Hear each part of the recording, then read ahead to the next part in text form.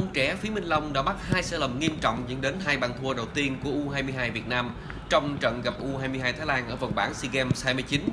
Qua đó khiến đội bị loại khỏi vòng bảng trong sự tiếc nuối của người hâm mộ. Tuy nhiên, huấn luyện viên Mai Đức Chung vẫn quyết định triệu tập anh lên tuyển Việt Nam chuẩn bị cho trận đấu gặp Campuchia vào ngày 5 tháng 9.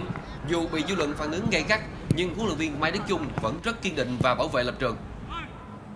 Như Phí Minh Long thì tôi cũng đã ờ, trực tiếp giải thích ở Liên đoàn bóng đá rồi. À, chúng ta nên tha thứ cho những vận động viên mà sai lầm về chuyên môn.